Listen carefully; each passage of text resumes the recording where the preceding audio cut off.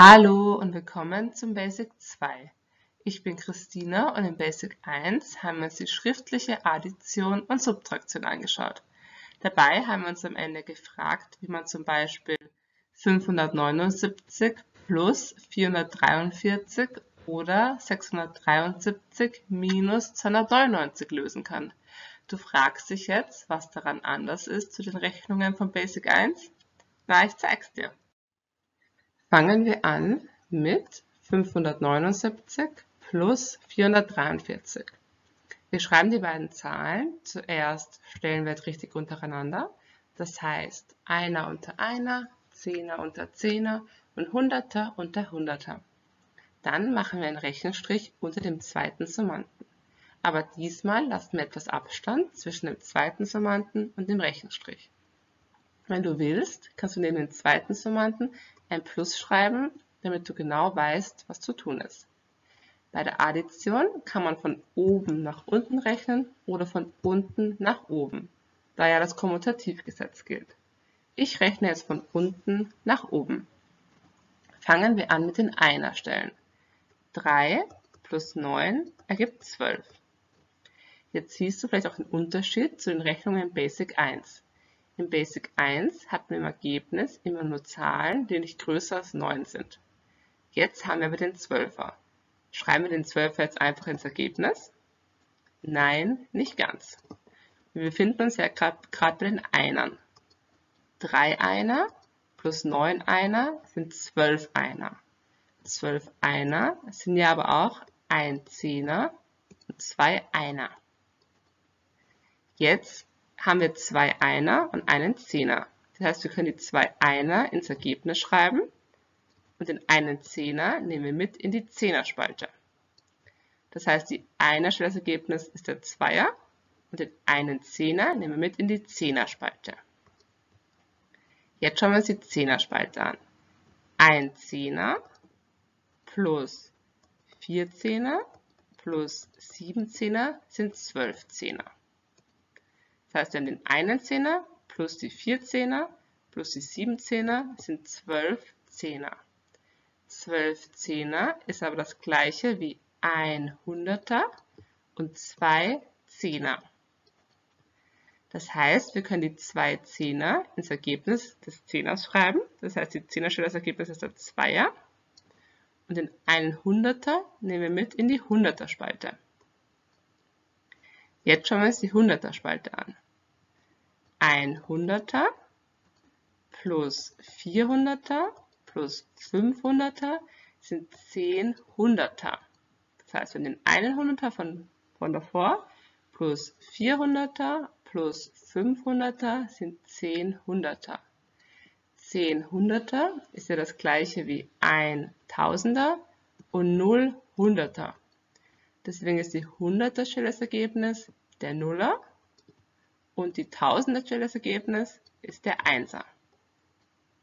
Daraus folgt, dass 579 plus 443 gleich 1022 ist. Jetzt bist du an der Reihe. Wie viel ergibt 367 plus 554? Schreib die beiden Zahlen zuerst stellenwertrichtig untereinander und mache einen Rechenstrich darunter. Super, genauso sollte es ausschauen. Vergiss nicht auf den Platz zwischen dem zweiten Summanden und dem Rechenstrich. Wenn du willst, kannst du wieder ein Plus neben den zweiten Summanden schreiben, damit du genau weißt, was zu tun ist.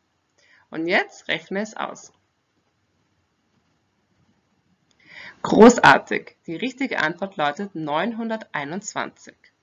367 plus 554 ergibt 921. Und jetzt schauen wir es uns nochmal zusammen an. Ich rechne wieder von unten nach oben. 4 plus 7 ergibt 11. 11 besteht aus einem Zehner und einem Einer. Das heißt, die Einerstellesergebnis ist der Einser und der eine Zehner kommt mit in die Zehnerspalte. Ein Zehner plus 5 Zehner plus 6 Zehner sind 12 Zehner. 12 Zehner besteht aus einem Hunderter und zwei Zehnern. Deswegen ist die Ergebnis der Zweier und der eine Hunderter kommt mit in die Hunderter-Spalte. Ein Hunderter plus 500er plus 300er sind insgesamt 900er. Das heißt, die 900er kommen in die 100er Spalte des Ergebnisses. Das heißt, die 100er Stelle des Ergebnisses ist der 9er. Und daraus folgt, dass 367 plus 554 gleich 921 ist. Weiter geht's mit der Subtraktion. In Basic 1 haben wir uns zwei verschiedene Verfahren angeschaut, und zwar das Ergänzungsverfahren und das Abziehverfahren. Du hast dir eins von den beiden Verfahren aussuchen können, welches dir leichter fällt. Heute stelle ich dir wieder beide Möglichkeiten vor und du kannst wieder das Verfahren nehmen, welches dir leichter fällt. Fangen wir an mit dem Abziehverfahren. Wie viel ergibt 673 minus 299? Wir schreiben die beiden Zahlen wie der Stellenwert richtig untereinander und machen einen Rechenstrich darunter. Da wir subtrahieren, brauchen wir ein Minus neben dem Subtrahenten. Beim Abziehverfahren rechnen wir von oben nach unten. Fangen wir an mit den Einern. 3 minus 9 ist in den natürlichen Zahlen nicht lösbar. Aber es gibt einen Trick. Wir haben ja im Minuenden 7 Zehner. Wir können uns einen Zehner davon nehmen, damit die Rechnung lösbar ist. 13 minus 9 ist ja, ist ja lösbar. Wenn wir das machen, müssen wir aber die Anzahl der Zehner im Minuenden um 1 reduzieren. Das heißt, statt 7 Zehner im Minuenden haben wir nur noch 6 Zehner, weil wir einen Zehner zu den drei Einern dazugeschrieben haben. Ein Zehner ist hier auch 10 Einer. Deswegen haben wir jetzt statt 3 Einern 13 Einer. 13 minus 9 ergibt 4. Deswegen ist die Einerstelle das Ergebnis der Vierer. Jetzt schauen wir uns die Zehnerstellen an. Wir haben jetzt nur noch 6 Zehner. 6 minus 9 ist aber wieder in den natürlichen Zahlen nicht lösbar. Jetzt müssen wir den gleichen Trick wie von vorher machen. Wir haben ja im Minuenden 600er und können wir uns ja 100 davon, davon nehmen, weil 100er sind 10 Zehner und schreiben statt 6 Zehner 16 Zehner hin. Wenn wir das machen, müssen wir die Anzahl der 100er im Minuenden um 1 reduzieren. Das heißt, wir haben nur noch 500er. 16 minus 9 ist lösbar und ergibt 7. Deswegen ist die 10er Stelle das Ergebnis der 7er. Jetzt schauen wir uns die 100er Stellen an. Wir haben jetzt noch 500er und rechnen minus 2. 5 minus 2 ergibt 3. Deswegen ist die 100er Stelle das Ergebnis der 3er. Daraus folgt, dass 673 minus 299 gleich 374 ist. Weiter geht's mit dem Ergänzungsverfahren. Wir nehmen wieder die gleiche Rechnung, schreiben die Zahlen wieder stellenwert richtig untereinander, machen einen Rechenstrich darunter und schreiben das Minus in den Subtrahenten. Beim Ergänzungsverfahren rechnen wir von unten nach oben. Fangen wir an mit den Einerstellen. 9 plus wie viel ergibt 3. Diese Rechnung ist in natürlichen Zahlen nicht lösbar. Deswegen brauchen wir wieder unseren Trick. Im Minuenden haben wir 7 Zehnern. Ein Zehner sind gleich 10 Einer. Das heißt, wenn wir uns einen Zehner nehmen, dafür nur noch 6 Zehner im Minuenden haben und diesen einen Zehner, bzw. 10 Einer, zu den 3 Einern dazugeben im Minuenden, dann haben wir die Rechnung 9 plus wie viel ergibt 13. Diese Rechnung ist erlösbar. 9 plus 4 gibt 13. Deswegen ist die Einerstelle das Ergebnis der Vierer. Das heißt, wir haben uns zu diesen 7 Zehnern einen Zehner genommen weil das ja auch 10 Einer sind, und zu den 3 Einer dazu addiert. Jetzt schauen wir uns die Zehnerspalte an. 9 plus wie viel ergibt 6. Diese Rechnung ist wieder in den natürlichen Zahlen nicht lösbar, deswegen brauchen wir unseren Trick. Wir haben ja im Minuenden 6 Hunderter. Ein Hunderter sind 10 Zehner. Das heißt, wir nehmen einen Hunderter, das heißt, wir haben nur noch 5 Hunderter im Minuenden und schreiben einen Hunderter bzw. 10 Zehner dazu zu den 6 Zehnern. Dann haben wir die Rechnung 9 plus wie viel ergibt 16. Diese Rechnung ist lösbar in natürlichen Zahlen. 9 plus wie viel ergibt 16? 9 plus 7 ergibt 16. Deswegen ist die 10er Stelle das Ergebnis der 7er. Jetzt schauen wir uns noch die 100er Stellen an. 2 plus wie viel ergibt 5? 2 plus 3 ergibt 5. Deswegen ist die 100er Stelle das Ergebnis der 3er.